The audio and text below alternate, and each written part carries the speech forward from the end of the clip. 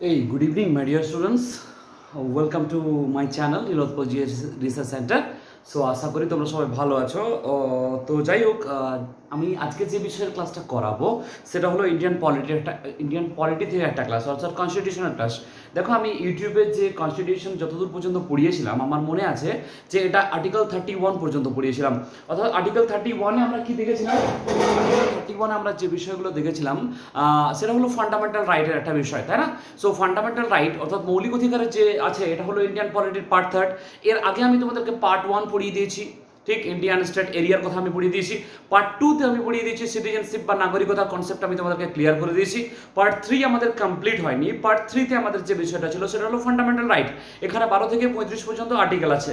তো আজকে আমি যে বিষয়টা তোমাদের আলোচনা করব সেটা হলো আর্টিকেল থার্টি টু একটা ভীষণ ভীষণ ইম্পর্ট্যান্ট একটা চ্যাপ্টার ডাব্লিউবিসিএস বলো বা যে কোনো এক্সামের পার্সপেক্টিভে এখান থেকে কিন্তু একটা কোশ্চেন পাক্কা দেয়। তাহলে আমরা এটাকে চলো আলোচনা করে দেখে নিই। আজকে একটু পড়ে নেব কি।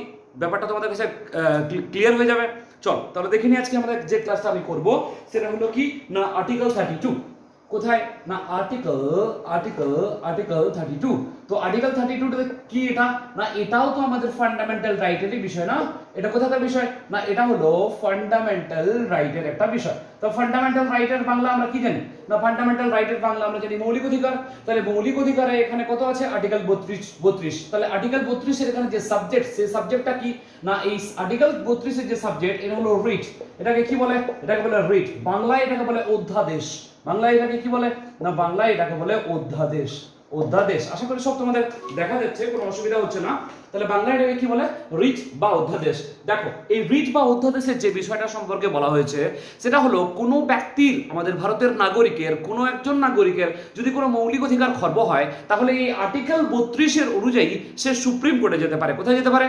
সুপ্রিম কোর্টে গিয়ে আবেদন করতে পারে। যে আমরা দেখলাম আমাদের ভারতে যেটা বলা হয়েছে ভারতে কি বলা হয়েছে না মৌলিক অধিকারের পরিভাষা তেরোতে বলা হয়েছে কি না কোনো স্বাধীনতার আগে তৈরি হওয়া এবং স্বাধীনতার পরে তৈরি হওয়া কোনো আইন যদি আমাদের মৌলিক অধিকারকে খর্ব করে, তাহলে সেই আইনটা আমাদের বাতিল বলে ঘোষণা করা হবে। আর্টিকেল চোদ্দতে বলেছে, আইনের চোখে আমরা সবাই সমান। আর্টিকেল পনেরোতে বলেছে জাতি, ধর্ম, বর্ণ, লিঙ্গ, নির্বিশেষে আমরা কি করতে পারি না? সরকারি স্থানে কোনো মানুষের সঙ্গে ভেদাভেদ করতে পারি না। ষোলোতে বলেছে সরকারি চাকরিতে সমান অধিকার, সতেরোতে বলেছে অস্পৃশ্যতা দূরীকরণ, আঠেরোতে বলেছে উপাধি বর্জন, উনিশের অনেকগুলো আছে, উনিশের একে বলেছে কি? না, বাক স্বাধীনতা, উনিশের দুইয়ে বলেছে, ভারতবর্ষে যে কোনো স্থানে কি করতে পারি আমরা? না, আমরা সভা করতে পারি। তারপরে কি আছে? উনিশের তিনে আছে, সংগঠন বানাতে পারি। উনিশের চারে আছে, আমরা যে কোনো প্রান্তে ঘুরতে পারি। উনিশের পাঁচে আছে কি? না যে কোনো ধরনের আমরা যেখানে খুশি বসবাস করতে পারি, উনিশের ছয়ে সম্পত্তি ছিল, সেটা এখন নেই। তারপরে কি আছে? না সাথে আছে, উনিশের সাথে কি আছে? না যে কোনো আমরা ব্যবসা অ্যাডপ্ট করতে পারি। এগুলো এগুলো সব উনিশে আছে। কুড়িতে কি আছে? না কুড়িতে আছে কোনো একই একটা অপরাধের জন্য একটাই সাজা। সাজার পরও ব্যক্তিকে সংরক্ষণ দিতে হবে। ঠিক আছে? আর আর কি না সাজা ওই সময়ের আইন অনুযায়ী হবে? এটা কুড়িতে ছিল। একুশে কি বলেছে? একুশে বলেছে প্রাণ এবং দৈহিক স্বাধীনতা। ঠিক আছে? তার সঙ্গে প্রাইভেসি কথাটা যুক্ত ছিল। একুশের এতে ছিল ছয় থেকে চোদ্দ বছর পর্যন্ত সমস্ত শিশুকে অবৈতনিক এবং বাধ্যতামূলক শিক্ষার কথা এখানে দিতে হবে। তারপরে বাইশে বলেছে যে গ্রেপ্তারি সংরক্ষণের বিষয়ে বলা হয়েছে, গ্রেপ্তারি কোনো ব্যক্তিকে গ্রেপ্তার করার আগে ওয়ারেন্ট দেখাতে হবে এবং চব্বিশ ঘণ্টার মধ্যে নিকটবর্তী আদালতে নিয়ে যেতে হবে। তেইশে কি বলেছে? না, কোনো ব্যক্তিকে দিয়ে বেগার খাটানো যাবে না। চব্বিশে কি বলেছে? না, চোদ্দ বছরের কম বয়সী শিশুকে শিশুকে দিয়ে কোনো আর কি ভয়ঙ্কর কাজে যুক্ত করা যাবে না। পঁচিশে বলেছে ব্যক্তিগত ধার্মিক স্বাধীনতা। ছাব্বিশে বলেছে সামগ্রিক স্বাধীনতা, ধার্মিক স্বাধীনতা। সাতাশে বলেছে কি, না, ধার্মিক কার্যের জন্য রাখা কোনো সম্পত্তিতে ট্যাক্স লাগবে না। আঠা, আঠাশে কি বলেছে? না, আঠাশে বলেছে কোনো সরকারি স্কুলে যেখানে আর কি সরকার পরিচালিত স্কুলে সেই সেই সমস্ত স্কুলগুলোতে ধার্মিক শিক্ষা দেওয়া যাবে না। এগুলো সব বলেছে, উনত্রিশে বলেছে সংখ্যালঘুদের ধর্মীয় স্বাধীনতার কথা। অর্থাৎ কোনো সংখ্যালঘু ব্যক্তিকে আমরা তার ভাষা এবং সংস্কৃতির বেসিসে তার সঙ্গে ডিসক্রিমিনেশন বা বিভেদমূলক আচরণ করতে পারি না। তিরিশে বলেছে কি? না, তিরিশে বলেছে সংখ্যালঘুরা যদি সংখ্যাগরিষ্ঠদের সঙ্গে সংখ্যা শিক্ষা গ্রহণে অসম্মতি প্রকাশ করে, তাহলে তাদের জন্য একটা আলাদা স্কুল ব্যবস্থা করতে পারে। সরকার সেখানে তাদেরকে অর্থ দেবে। একত্রিশে বলেছে পৈতৃক সম্পত্তির কথা। তাহলে এই সমস্ত অধিকারগুলো যদি কোনো মানুষের খর্ব হয়, তাহলে তারা কোথায় যেতে পারে? না, সরাসরি সুপ্রিম কোর্টে যেতে পারে? কত নম্বর আর্টিকেলের বেসিসে না, এই বত্রিশ নম্বর আর্টিকেলের বেসিসে তারা কোথায় যেতে পারে? না, সুপ্রিম কোর্টে যেতে পারে। কোথায় যেতে পারে? না, সুপ্রিম কোর্টে যেতে পারে। এই বিষয়টা এখানে বলা হয়েছে। এটাকেই আমরা কি বলছি রিট ইংরেজি রিট বাংলায় বলে এটাকে অধ্যাদেশ। ঠিক? আরও একটা কথা আছে, এটাকে বলে সাংবিধানিক উপচারের অধিকার। কি বলে? লিখে নাও, এটাকে বলে সাংবিধানিক, এটাকে বলে সাংবিধানিক সাংবিধানিক উপাচার সাংবিধানিক উপাচার সাংবিধানিক উপাচার। তো এটা একটা বিরাট সুন্দর কথা আছে, এটা একটা বি আর আম্বেদকর, এটাকে heart and soul of the constitution বলেছিলেন। কে বলেছিলেন? না বি আর আম্বেদকর। এটাকে কি বলেছিল? না বি আর আম্বেদকর এটাকে লিখে নাও যে বি আর আম্বেদকর আর্টিকেল বত্রিশ কে আর্টিকেল থার্টি টু কে doctor doctor B R Ambedkar আমরা তো সবাই জানি ভীমরাও রামজি আম্বেদকর, উনি কে ছিলেন? না father of our constitution Ambedkar okay Ambedkar. তো বি আর আম্বেদকর কি বলেছিলেন? না বি আর আম্বেদকর একে এই আর্টিকেল থার্টি টু কে বলেছিলেন heart and soul of the constitution কি বলেছিলেন? Heart and soul of the constitution heart and soul অর্থাৎ সংবিধানের soul of the soul of the constitution heart and soul of the constitution অর্থাৎ, কি না ভারতের সংবিধানের হৃদয় এবং আত্মা বলেছিলেন? ক্লিয়ার তাহলে এখানে যে যে বিষয়গুলো আমরা আছে, সেগুলো নিয়ে আলোচনা করি। অর্থাৎ আমরা জানি যে এই আর্টিকেল বত্রিশে পাঁচটা রিট বা সাংবিধানিক উপচারের বিষয় বলা হয়েছে। তাহলে চলো পাঁচটা রিট সম্পর্কে আমাদের একটু পড়ে নেওয়া যাক যে পাঁচটা রিট এখানে কি কি বলা হয়েছে। এখানে পাঁচটা রিটের কথা কি কি আলোচনা করা হয়েছে? চলো একটু আমাদের দেখে নেওয়া যাক। তাহলে এখানে প্রথমেই যে বিষয়টা আছে, সেটাকে বলছি আমরা কি? না, সেটাকে বলছি হেভিয়াস কর্পাস এটাকে বলে habeas corpus habeas corpus so what does mean by habeas corpus না হেভিয়াস কর্পাস আর কিছু না, বাংলায় এটাকে বলে বন্দি প্রত্যক্ষীকরণ। বাংলায় কি বলে? বাংলায় বলে বন্দি প্রত্যক্ষীকরণ। বন্দি প্রত্যক্ষীকরণ তো বন্দি প্রত্যক্ষীকরণ বিষয়টা কি? না জাস্ট আর কি শুনে নাও, আগে বুঝে নাও ব্যাপারটা। আমি সব সময় আমার স্টুডেন্টদেরকে বলি যে, আগে ব্যাপারটা তোমরা আগে বুঝে নাও বাবু। দেখো, এখানে বন্দি প্রত্যক্ষীকরণ যে বিষয়টা বলা হয়েছে, এটা হলো যে, কোনো ব্যক্তিকে গ্রেপ্তার করার সঙ্গে সঙ্গে চব্বিশ ঘণ্টার মধ্যে তাকে নিকটবর্তী আদালতে নিয়ে যেতে হবে। কি বলেছে? চলো আমি লিখে দিলাম যে, কোনো ব্যক্তিকে গ্রেপ্তার করার সঙ্গে সঙ্গে কি বলেছে? কোন ব্যক্তিকে গ্রেপ্তার করার সঙ্গে উইদিন উইদিন উইদিন কত কত আওয়ার না টোয়েন্টি ফোর আওয়ারের মধ্যে কোথায়? না নিয়ারেস্ট কোর্টে তাকে নিয়ে যেতে হবে। ঠিক আছে? কোথায় যেতে হবে? না নিয়ারেস্ট কোর্টে তাকে নিয়ে যেতে হবে। অর্থাৎ নিয়ারেস্ট আদালতে তাকে নিয়ে যেতে হবে। কাকে? অ্যারেস্টের অ্যারেস্টের অ্যারেস্টের এই অ্যারেস্টের চব্বিশ ঘণ্টার মধ্যে টোয়েন্টি ফোর আওয়ার অ্যারেস্টের চব্বিশ ঘণ্টার মধ্যে কোথায় নিয়ে যেতে হবে? না নিকটবর্তী আদালতে নিয়ে যেতে হবে। কেন? না, দেখো, আমরা জানি যে কোনো ব্যক্তিকে গ্রেপ্তার করে, পুলিশ গ্রেপ্তার করে, তো পুলিশ কি, পুলিশ হলো আইনের রক্ষক। পুলিশের কাছে আর কোনো ক্ষমতা নেই। ওই ব্যক্তিটা ভুল করেছে না ঠিক করেছে, সমস্ত কিছু বিচার কে করবে না কোর্ট করবে? কে করবে? কোর্ট করবে। তাহলে কোর্টের কাছে তাকে নিয়ে যেতে হবে। তো পুলিশ যদি পুলিশ রিমান্ডে নিয়ে আর থানাতে যদি ব্যক্তিটাকে রাখে, তাহলে তাকে এত অত্যাচার করে মানে মানে কল্পনারও অতীত অত্যাচার করে। ঠিক আছে? তো একজন অপরাধীর কাছে সব থেকে সেফেস্ট প্লেস কি জানো? কোর্ট। তো অপরাধী সবসময় ভাবে যে আমাকে কোথায় পাঠানো নিয়ে যেতে হবে, কোথায় চালান করে দিতে হবে, না কোর্টে চালান করে দিল। তো কোর্টে যখনই পৌঁছে গেল, ওই অপরাধীটা একদম সেফ হয়ে গেল। পুলিশ তাকে মারবেও না, বকবেও না কিছু করার আর পুলিশের অধিকার নেই। তাহলে তখন কে? না জাজকে গিয়ে সমস্ত কিছু বলবে যে যে অপরাধ করবে, হুজুর এরকম, আমি অপরাধ করেছিলাম, এটা ভুল হয়ে গেছে, এ হয়ে গেছে ওই হয়ে গেছে। তাহলে ওই জন্য এই বিষয়টা ভারতীয় সংবিধানে অ্যাড করা হয়েছে কি?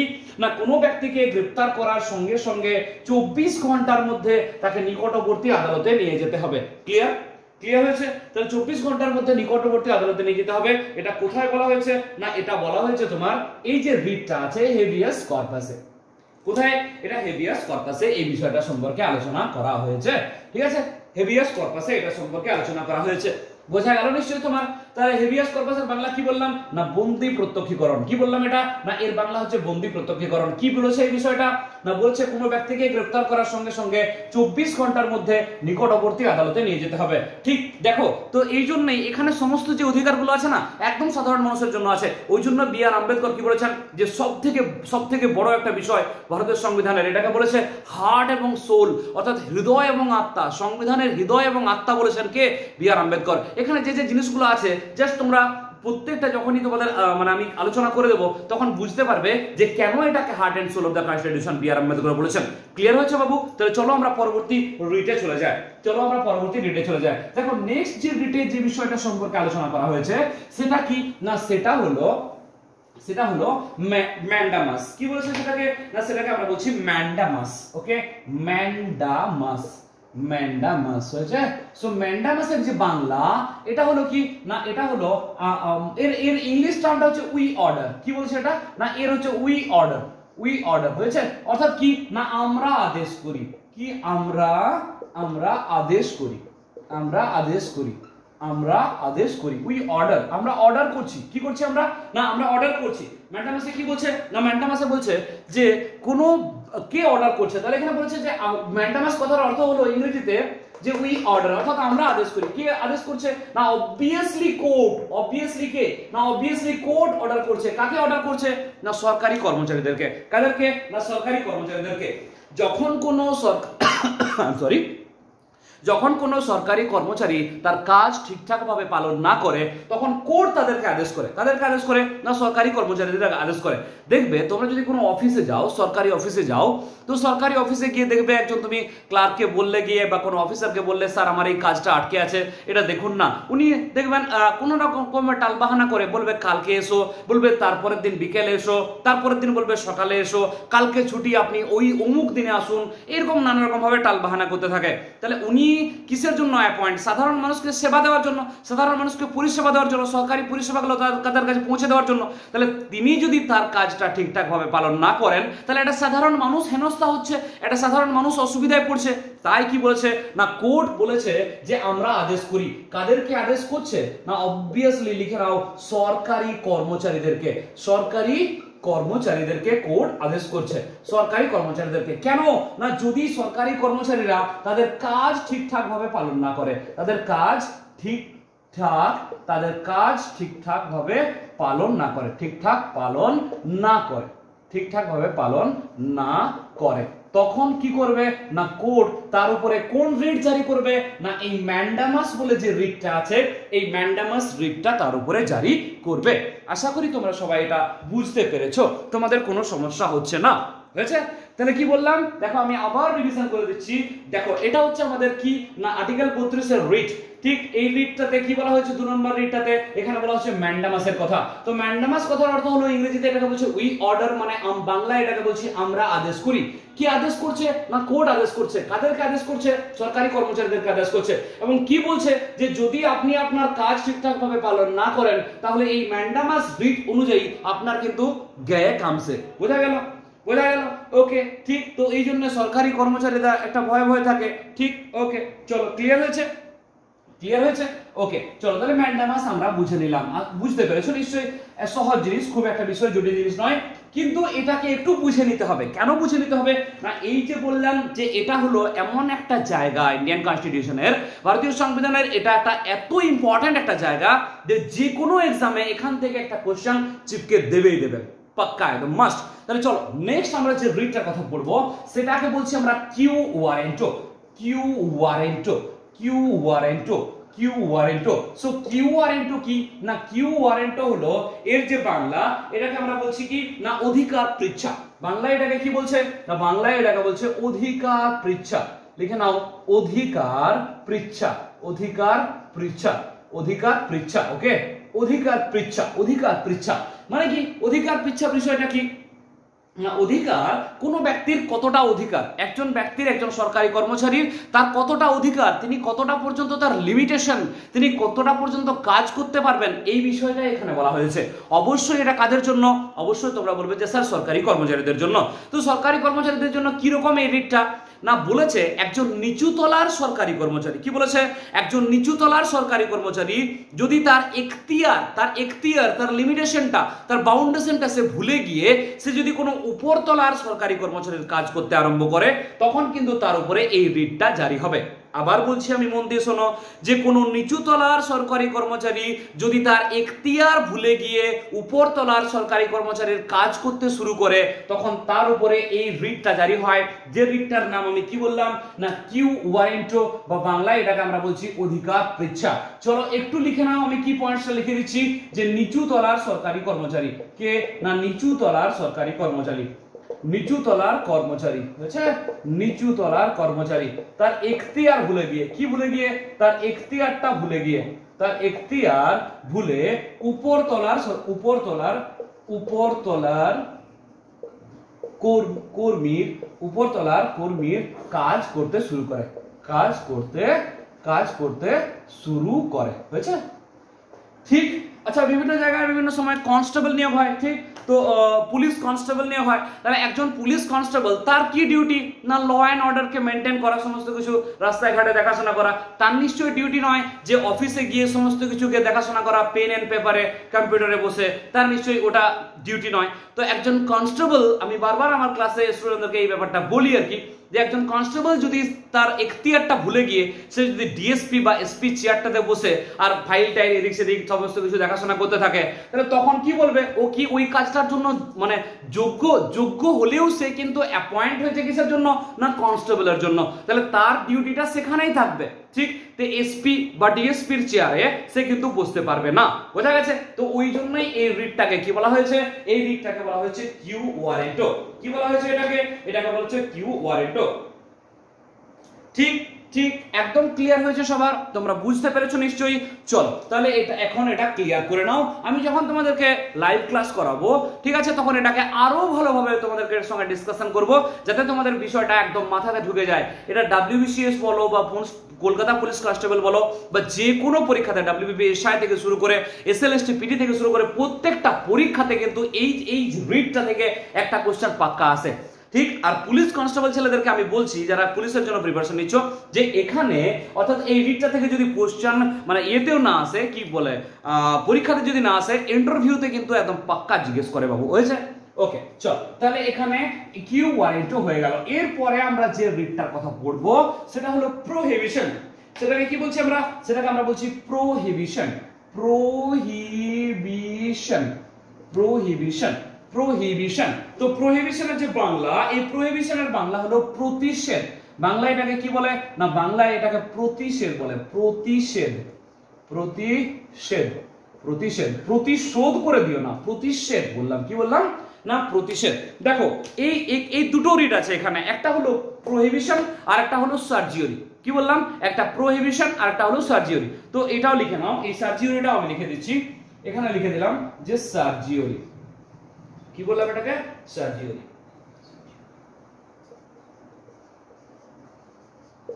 প্রোহিবিশন এন্ড সার্জিওরি তো এর বাংলা হলো উৎপ্রেষণ। এর বাংলাটা কি? এর বাংলাটা হলো উৎপ্রেষণ। এর বাংলাটা হলো উৎপ্রেষণ। উৎপ্রেষণ হয়েছে prohibition and prohibition and certiorari English টার্মগুলোই বেশি করে মনে রাখবে। কারণ কি? না, আমি বলেছি বাংলিশ করে দেয়, এই প্রোহিবিশন আর বাংলিশ করে দিতে পারে সার্জিওরি বাংলিশ করে দিতে পারে। বাংলিশ কি জিনিস তোমরা জানো নিশ্চয়ই? এটি প্রোহিবিশনটাকে বাংলায় প্রোহিবিশন এরকম করে বাংলা লিখে দিতে পারবে। তো যাই হোক, বিষয়টা শোনো যে প্রোহিবিশন অ্যান্ড সার্জিওরি বিষয়টা কি? না, দেখো, এটা কোর্টের উপর ইয়ে করে। এই রিটটা কাদের উপর জারি হয়? না, হায়ার কোর্ট লোয়ার কোর্টের উপরে জারি করে। কোন কোর্ট? না, উচ্চ আদালত, নিম্ন আদালতের উপর এই রিট, দুটো রিটে জারি হয়। কি রকম বিষয়টা শোনো। না, এখানে প্রহিবিশনে বলেছে, কোন নিম্ন আদালত তার এখতিয়ারকে ভুলে গিয়ে, কোন নিম্ন আদালত তার এখতিয়ারকে ভুলে গিয়ে এবং উপর আদালতের রায়কে অবমাননা করে। কি বললাম?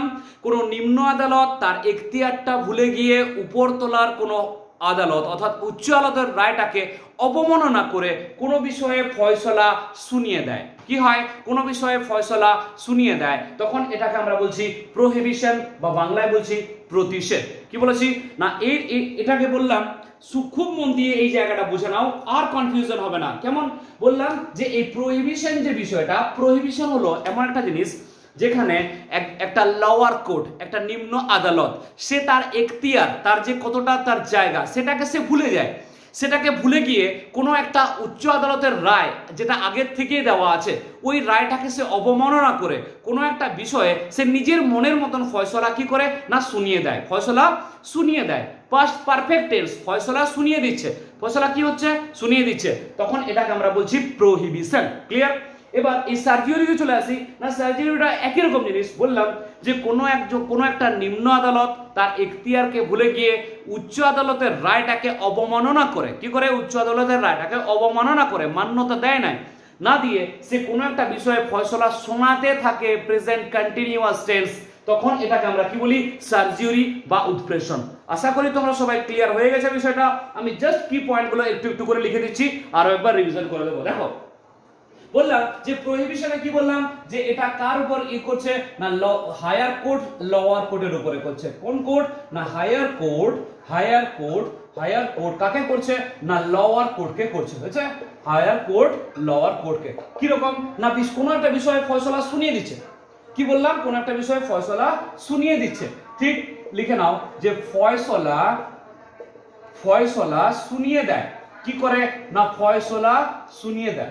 ফয়সলা শুনিয়ে দেয়। ঠিক? তো তখন এটাকে কি করছে? না, এই ফয়সলা যখন শুনিয়ে দিচ্ছে, তখন এটাকে আমি বলি যে পাস্ট পারফেক্ট টেন্স কোন টেন্স এটাকে আমি বলি পাস্ট পারফেক্ট টেন্স হয়েছে? পাস্ট পারফেক্ট টেন্স ইংরেজিতে আমরা টেন্স পড়েছি। পাস্ট পারফেক্ট টেন্স নয় এটা বোঝানোর জন্য আমি জাস্ট তোমাকে एग्जांपल দিলাম যে এটা হলো পারফেক্ট পাস্ট পারফেক্ট টেন্স অর্থাৎ কোন একটা বিষয়ে কাজটা কমপ্লিট হয়ে গেছে অর্থাৎ কি করছে না লোয়ার কোর্ট উচ্চ আদালতের রায়টাকে অবমাননা করছে কে অবমাননা করছে না এই এই নিম্ন আদালত উচ্চ আদালতের রায়টাকে অবমাননা করছে ঠিক আছে তখন কি করছে কোন একটা বিষয়ে ফয়সলা শুনিয়ে দিচ্ছে তখন সেটাকে আমরা বলছি কি তখন সেটাকে আমরা বলছি প্রতিষেধ বা ইংলিশে বলে প্রহিবিশন তাহলে কে জারি করে জিজ্ঞেস করে প্রহিবিশন জিজ্ঞেস করে কোশ্চেন আছে যে এই প্রহিবিশনটা জারি কে করে? না, অবশ্যই এটা হাইকোর্ট জারি করে। কে জারি করে? হাইকোর্ট তাহলে হাইকোর্ট যদি লোয়ার কোর্ট বা ডিস্ট্রিক্ট কোর্টকে করতে পারে, তাহলে হাইকোর্টকে সুপ্রিম কোর্ট করতে পারবে কি পারবে না? কারণ আমরা জানি, আমাদের ভারতবর্ষে কি আছে? না, সর্বোচ্চ আদালতটা হলো সুপ্রিম কোর্ট তাহলে যদি হায়ার কোর্টও এরকম ভাবে কোনো অবমাননা করে, অর্থাৎ অর্থাৎ হাইকোর্ট যে হাইকোর্টগুলো প্রতিটা স্টেটে একটা করে আছে, প্রতিটা স্টেটে নেই, কিছু কিছু স্টেটে আছে। ঠিক আছে? তো আর কি ম্যাক্সিমাম আছে আর কি। তাহলে এই হাইকোর্টও যদি এরকম করে, কোন একটা বিষয়ে সুপ্রিম কোর্টের রায়টাকে অবমাননা করে, কোনো একটা বিষয়ে ফয়সলা শুনিয়ে দিল, তখন সেটাকে আমরা বলছি কি, না প্রোহিবিশন তখন এই এই সুপ্রিম কোর্ট হাইকোর্টের উপরে কি জারি করবে, না জারি করবে, এই প্রোহিবিশন বা প্রতিষেধ জারি করবে। ক্লিয়ার হয়েছে বাবু বিষয়টা? ওকে এবার আমরা যেটা দেখব, সেটা হলো সার্জারি সার্জারি জারি করে সেম জিনিস এটাও হাইকোর্ট আমি শর্টে লিখছি এইচসি কার উপরে? না এলসি অর্থাৎ লোয়ার কোর্টের উপর জারি করবে। কি করবে? না ফয়সলা শোনাতে থাকে। এইটাই হচ্ছে ফয়সলা। ফয়সলা শোনাতে থাকে। কি করে? ফয়সলা শোনাতে থাকে। তাহলে এটা চলছে। কাজটা কন্টিনিউ আছে। তাহলে কাজটা যখন কন্টিনিউ আছে, তখন এটাকে আমি বলতে পারি কিনা? যে এটা হচ্ছে প্রেজেন্ট কন্টিনিউয়াস টেন্স কি বলতে পারি এটাকে? এটাকে আমি বলতে পারি present continuous present continuous tense হয়েছে? প্রেজেন্ট কন্টিনিউয়াস টেন্স আশা করি তোমরা সবাই বিষয়টা বুঝতে পেরেছ। এত আমি এত আমি বললাম কারোর মধ্যে নিশ্চয়ই এটা নিয়ে কনফিউশনের কোনো বিষয় নয়। ঠিক, এটা নিয়ে কনফিউশনের কোনো জায়গা নেই। তো আমি তবুও বলছি বাবু, আরও একবার আমি টোটালটা রিভিশন করে দিচ্ছি। জাস্ট মন দিয়ে শুনে নাও। একবার এই ক্লাসগুলো যদি তুমি শুনে নাও জীবনে এটা আর ভুলবে না, ঠিক? জীবনে ভুলবে না। হয়েছে? চলো। আমি বললাম যে প্রথমেই কি আছে আমাদের? না, প্রথমেই আছে যে আর্টিকেল বত্রিশ। কি কি আছে? না আর্টিকেল বত্রিশ। তো এই আর্টিকেল বত্রিশে যে বিষয়টা সম্পর্কে আমাদের আলোচনা করা হয়েছে, সেটা হলো যে এটাকে বলছি আমরা সাংবিধানিক উপাচারের অধিকার বা বাংলায় বলছি অধ্যাদেশ, ইংলিশে বলছি writ doctor B R Ambedkar এটাকে কি বলেছিলেন? Doctor B R Ambedkar the father of our constitution তিনি বলেছিলেন যে এই আর্টিকেল বত্রিশ হলো ভারতীয় সংবিধানের হৃদয় এবং আত্মা heart and soul of the constitution কে বলেছিলেন? ডক্টর বি আর আম্বেদকর কোনো ব্যক্তির যদি কোনো মৌলিক অধিকার খর্ব হয়, তাহলে কি করতে পারে? এই আর্টিকেল বত্রিশ অনুযায়ী সে সরাসরি সুপ্রিম কোর্টে যেতে পারে। আরও একটা আর্টিকেল আছে, আমি একটু পরে লাস্টে ওটা বলছি আর কি। তাহলে বুঝে নাও, বললাম, আরেকটা আর্টিকেল আমি বলে দিচ্ছি। আরেকটা আর্টিকেল যেটা আছে, সেটা হলো দুশো ছাব্বিশ। কত আর্টিকেল না দুশো ছাব্বিশ। এই দুশো ছাব্বিশ অনুযায়ী কোথায় যেতে পারে? না এ যেতে পারে হাইকোর্টে যেতে পারে। কোনো ব্যক্তির যদি মৌলিক অধিকার খর্ব হয়, তাহলে এই আর্টিকেল দুশো ছাব্বিশ অনুযায়ী সে কোথায় যেতে পারে? না আর্টিকেল দুশো ছাব্বিশ অনুযায়ী অনুযায়ী সে কিন্তু হাইকোর্টে যেতে পারছে। কোথায় যেতে পারছে? সে হাইকোর্টে যেতে পারছে। আর বত্রিশ অনুযায়ী কোথায় যেতে পারবে? না বত্রিশ অনুযায়ী সে এসসি বা সুপ্রিম কোর্টে যেতে পারবে। ক্লিয়ার হয়েছে? এই জায়গাটা নিশ্চয়ই বুঝতে পেরেছ। এবার বললাম যে এই রিটগুলো কি না বি আর আম্বেদকর এটাকে খুব গুরুত্ব দিয়েছিলেন? তিনি প্রথমেই যে রিটটার কথা আলোচনা করেছিলেন, সেটা কি? না, সেটা হলো তোমার হেভিয়াস কর্পাস বা বাংলায় ওটাকে আমরা বলছি বন্দি প্রত্যক্ষীকরণ বন্দি প্রত্যক্ষীকরণ কোনো ব্যক্তির যদি, কোনো ব্যক্তিকে যদি অ্যারেস্ট করা হয় অ্যারেস্ট করার চব্বিশ ঘণ্টার মধ্যে তাকে নিকটবর্তী আদালতে নিয়ে যেতে হবে। এটা হলো হেভিয়াস কর্পাস বা বন্দি প্রত্যক্ষীকরণ, ঠিক? দু নম্বর আছে ম্যান্ডামাস ম্যান্ডামাসকে কি না ম্যান্ডামাসের বাংলা হলো we order we order we order আমরা আদেশ করি। আমরা কি করি? আমরা আদেশ করি। কি আদেশ করছে? কোর্ট আদেশ করছে। কাকে আদেশ করছে? না সরকারি কর্মচারীদের কাজ করছে? যদি কোনো সরকারি কর্মচারী তার কাজটা ঠিকঠাকভাবে পালন না করছে, তাহলে তার উপরে কি জারি হয়? ম্যান্ডামাস। কি জারি হয়? ম্যান্ডামাস। ক্লিয়ার ওকে নেক্সট আছে কিউ ওয়ারেন্টো কি আছে? কিউ ওয়ারেন্টো এই কিউ ওয়ারেন্টোর যে বাংলা কিউ ওয়ারেন্টোর বাংলা কি বললাম? না কিউ ওয়ারেন্টোর বাংলা হচ্ছে তোমার অধিকার পৃচ্ছা। কে পৃচ্ছা? অধিকার পৃচ্ছা। তাহলে কোনো কি এটা কাদের উপর জারি করছে? না, এটাও সরকারি কর্মচারীদের উপর জারি হয়। কীরকম?